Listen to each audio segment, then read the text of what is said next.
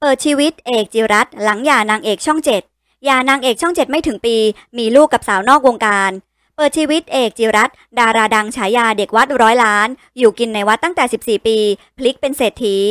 หลังจากที่ก่อนหน้านี้อดีตนางเอกสาวโบธัญญสุพาง ได้เปิดตัวแฟนใหม่ พร้อมกับแจงละเอียดว่าได้ยุติความสัมพันธ์กับสามีนักแสดง เอกจิรัตบุรพาพัฒนากุล หรือเอกเด็กวัดร้อยล้าน ไปเมื่อช่วงต้นปีที่ผ่านมา ซึ่งเรื่องนี้ก็ได้สร้างความฮือฮาไม่น้อย เพราะก่อนหน้านี้เรื่องราวความรักของทั้งคู่นั้นหวานมาก ได้ทำเซอร์ไพรส์ขอแต่งงานสุดหวาน ก่อนเป็นข่าวดัง และได้จูงมือย้ายไปเรียนต่อที่ต่างประเทศด้วยกัน แต่ในระยะหลังโบก็ได้โพสต์ภาพคู่กับหนุ่มฝรั่งสุดหวาน จนทำให้มีชาวเน็ตใจกล้าได้เข้าไปคอมเมนต์ถามถึงความสัมพันธ์ของเอกกับโบ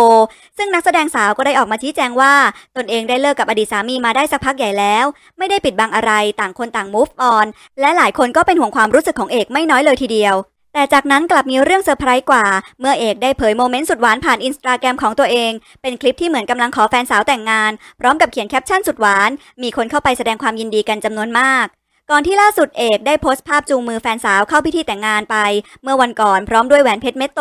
โดยบรรยากาศในงานเต็มไปด้วยความรัก และเขียนแคปชั่นว่า heart มีคำว่าฟังอยู่ในนั้น ฉายาที่เป็นเหมือนยี่ห้อเพื่อใช้โฆษณาจับคำว่าเด็กวัด ซึ่งสกัดมาจากวิถีชีวิตของเขา ที่ผูกพันกินอยู่หลับนอนในวัดแห่งหนึ่งถึง 14 ปี แล้วยังอยู่วัดไหม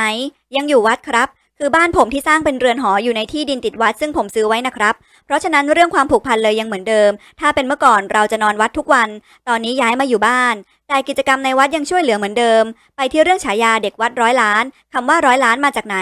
มันมาจากนิตยสารเล่มหนึ่งเขาเห็นผมดูแลพระอยู่ในวัด แล้วถามผมว่าผมทำอะไรอยู่ ผมก็บอกว่าทำธุรกิจเขาเลยสนใจ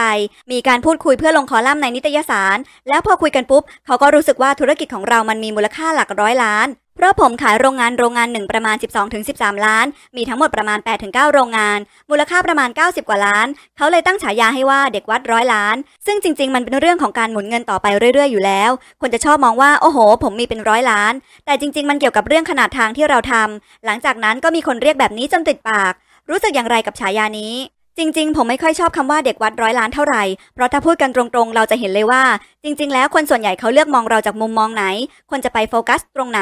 ซึ่งมันคือเรื่องเงินใช่ไหมครับ คนจะมองว่าเด็กวัดมักเป็นคนด้อยโอกาส นุ่งกางเกงขาดขาดอะไรแบบนี้ ซึ่งจริง ๆ บ้านผมถือว่าเป็นครอบครัวฐานะปานกลางนะ เรามีพี่น้องหลายคน และทุกคนจะถูกสอนให้ทำงานมาโดยตลอด คือเมื่อก่อนบ้านผมขายของชำพูดง่าย ๆ เราต้องช่วยขายของ ต้องทำงานบ้านด้วยตัวเอง ที่บ้านไม่มีคนงานไม่มีคนใช้ ทุกคนต้องช่วยพ่อแม่ทำงาน แล้วบ้านผมอยู่ละแวกวัด ผมอยู่วัดมาประมาณ 14 ปีนะครับ